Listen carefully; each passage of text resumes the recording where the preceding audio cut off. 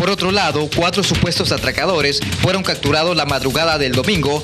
Entre ellos se encuentran dos menores de edad. José Farel Betty, el de polera celeste, el joven Ovidio Junior Ayala Ponco, pues el que habría eh, apuñalado a la víctima fue el que se sentó al costado del vehículo en el asiento del copiloto.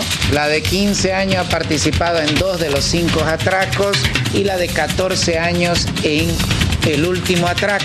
El viceministro Pérez indicó que los atracadores y violadores lo bajarán si hacen caso omiso a la voz de alto de la policía.